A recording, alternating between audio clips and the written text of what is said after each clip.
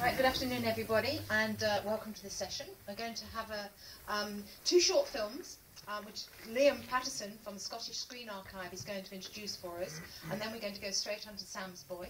And uh, I know Sam's Boy is an absolutely delightful film, and uh, I'm sure you're going to enjoy that. I think it's a real find, um, and I'm sure there's two short films are as well. They're recovered short films that uh, that Liam will talk about first. Um, Gunter's going to be playing for us, so uh, without further ado, I'll welcome Liam Patterson onto the stage. Thank you.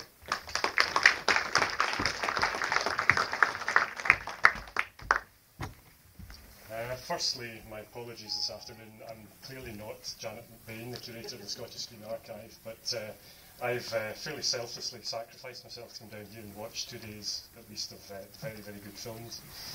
Um, two short films coming up. Uh, they're both from the Fisher collection, uh, named after Henry E. Fisher, who was a producer based in Soho Square in London. Uh, he started collecting films in the 1920s, and the collection ranges from 1895 to 1920 mostly. Uh, by the 1970s, the collection ended up in the Bundesarchiv in Berlin, and from there, much later, 2005, it came to the Imperial War Museum Film and Video Archive. Uh, of the 15, 1,500 cans at that point, some that were of specifically Scottish interest came to us at the Scottish Screen Archive. Um, I'm not sure which order the films are going to be coming in, but one of the two, uh, I thought was the first of the two, is to Rona on a Whaler. This was made by Otter Films, about whom we know very little or nothing. Uh, it's 35mm, black and white, tinted and toned.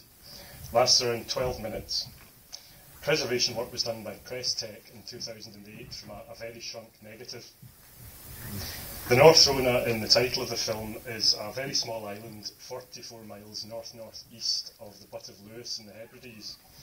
Um, it's arguably even more remote than be the better-known St Kilda.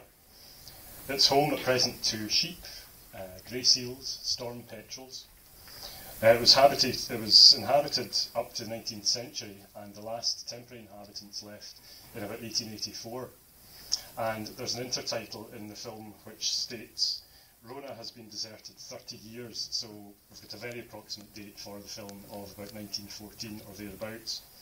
It's certainly no earlier than 1904 when the whaling station on the island of Harris, which you'll see in the film, was built.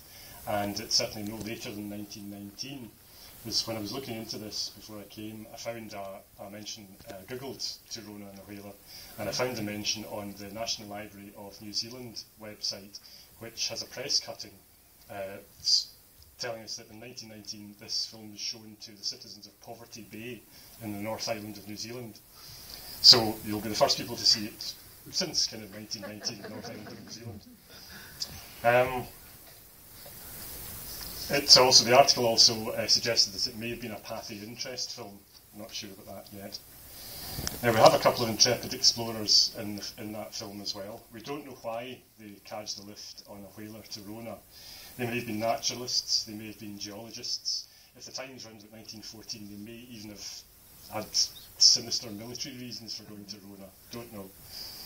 Uh, but at very least, the film is a very graphic reminder of the fact that this country was involved in the whaling industry up until the 1952, in fact, when the whaling station on Harris was finally abandoned. The second film, or the other film, uh, was made in Great Yarmouth, filmed in Great Yarmouth, but it's a wonderful depiction of a very important part of Scotland's economy in the early part of the 20th century.